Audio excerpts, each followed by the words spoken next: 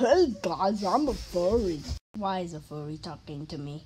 Wanna help the homeless? Then download the best thing in the world. Then download the virus and then load it up.